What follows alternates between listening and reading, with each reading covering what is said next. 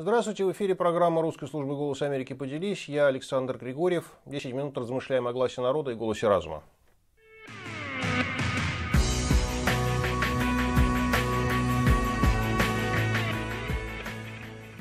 Профессор Нью-Йоркского Хантер-колледжа Эмиль Дрейцер несколько лет назад опубликовал документальное исследование об одном из звездных агентов советской разведки, Дмитрии Быстролетове.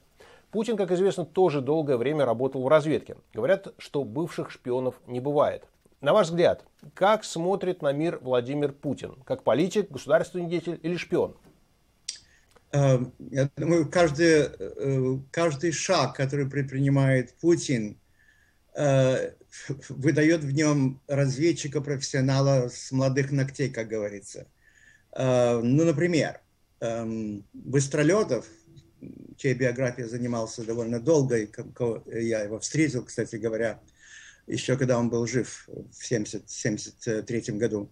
Так вот, э, ну, например, один из, так сказать, профессиональных приемов – это э, разведчика, шпиона, контрразведчика – это выступить под чужим флагом.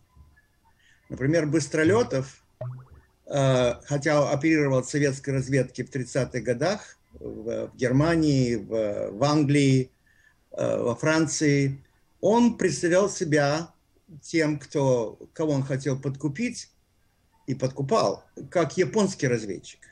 И, и объяснял это он так, что, видите ли, японская разведка не может послать своих агентов, поскольку немедленно видно, что э, это, так сказать, шпион э, японец. Поэтому они наняли его, то есть Быстролетова, э, так сказать, для того, чтобы он, так сказать, провел операцию. Теперь э, сравните, что сделал, скажем, например, эм, э, Э, что сделал э, Путин в Крыму. Он, он, он э, пустил туда, даже должен сказать, что он даже сделал прием хитрее, чем это сделал Гитлер в свое время. Известно, что Гитлер спровоцировал нападение на Польшу, переодев в польскую военную форму группу немецких солдат, которые якобы напали на, на, так сказать, на, на, на территорию э, Германии. А Путин э, так называемых зеленых человечков без всякой идентификации пустил в Крым. Это типичный прием разведчика, типичный прием шпиона. Он никогда не скажет, кто он такой, всегда будет отказываться и так далее. Кроме того, эм, судя по его, его, так сказать, его личности, он думает, что он, так сказать, э, пытается, он не очень хороший актер, конечно, его нельзя сравнить с Быстролетовым, Э, он пытается выдать себя как, так сказать, доброго, хорошего широ, э, человека широкой души и так далее. Это, так сказать, э, но у него ничего не получается. Его выдает, его выдает, по крайней мере, для людей, которые, так сказать, с ним, которые его не знают, выдает его, так сказать, неумение, в общем-то, до конца, я думаю, поэтому он не был, был не разведчиком, а контрразведчиком, что он все-таки до конца не мог быть того класса, каким был Э, кем быстролетов.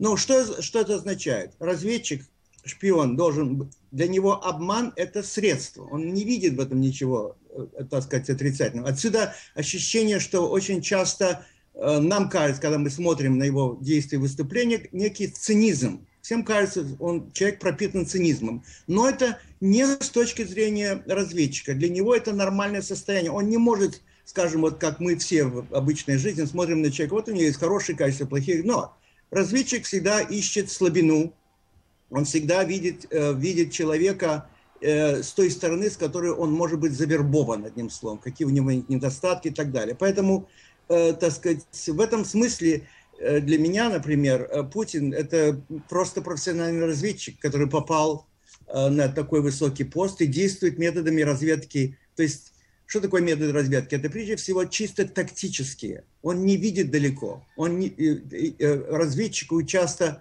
и я помню, э, Быстролетов тоже жаловался, говорит, что мы не знаем, мы, нам говорят, сделай то-то, мы не знаем для чего, для чего это делается. Но мы делаем все для того, чтобы достичь эту маленькую цель прямо перед нашим носом. А что Имей, будет дальше? Я вас, простите, я вас перебью. А, на ваш взгляд, у чего вот с учетом вот последних украинских событий вы бы ожидали от Путина? Максимально коротко, пожалуйста. Мне трудно сказать, что от него можно ожидать. Я думаю, что поэтому он, он, одним словом, я думаю, что он, опять же, сделает некое заявление, ложный обман. Все, каждый его следующий шаг, если мы проследим его, его публичные выступления, то, что он делает на самом деле, это ложный шаг. Он либо скажет нечто, чтобы тянуть, чтобы тянуть время, либо пообещает нечто, а потом скажет, я этого ничего не сказал. Одним словом, мне трудно э, сказать, что, что, он будет, э, что именно он будет делать э, дальше. Я думаю, что это его основное оружие. Он на самом деле знает, что никто, ни, никто до конца не знает, что у него в голове. Каким данным, на ваш взгляд, привык доверять Путин? Буквально одним словом. А то, что он читает в газетах, то, что ему показывают по телевизору, то, что ему приносят в бумагах для секретного пользования. Э, думаю, что только секретного пользования. Все остальное он, он как профессиональный, понимаете, э, вся для разведчика, и для него мир не существует таким, каким он существует для нормальных людей, которые, одним словом, мы оцениваем, а тот сказал это, это, наверное, это где-то так. Нет, он думает, что он прежде всего руководствуется тем, что ему советует его ближайший, ближайший круг. Спасибо. С нами были Вадим Белоцерковский и Эмиль Дрейцер. Программа «Голос Америки» поделись.